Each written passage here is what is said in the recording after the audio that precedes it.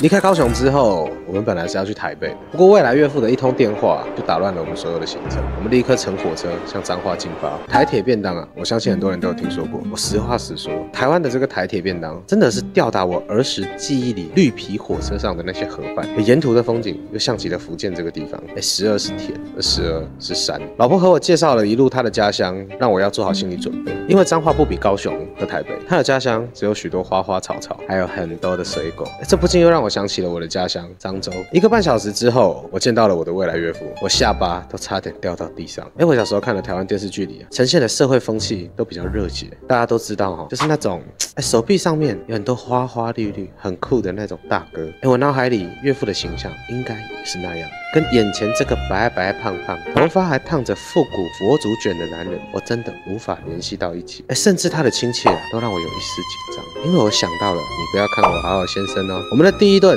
吃的是彰化肉丸，据说这玩意儿还分南北，跟福建的肉丸是两回事。它倒是有点和客家的玉包有一点接近，但又不完全是一个东西。哎，紧接着啊，未来岳父和我介绍着他的想当年，当然没有少问关于你小子的问题。至于会不会抽烟喝酒这种非常小儿科的问题，他也倒仅仅浅问一嘴。用他的话来说，这并不影响第一眼就感觉是你这小子没错的印象。但接下来的一句，嘿嘿。要万一肚子有有有 baby 哈，是绝对不可以拿掉的。我是差点把嘴里的啤酒都喷出来。虽然我没有见岳父的经验，但电视剧里也没有这么演过。这台湾岳父的思维这么跳脱的吗？哎，那一晚回家后，我跟岳父彻夜长聊，甚至有了几分相见恨晚的感觉。从工作，从婚姻，从创业，还有娱乐，我记忆最深刻的是岳父这样说道：“台湾哦，在经济好的时候，钱哦，我拿来擦鼻涕哦，我都嫌粗啊。但现在讲这句话，倒是有了几分自嘲的感觉。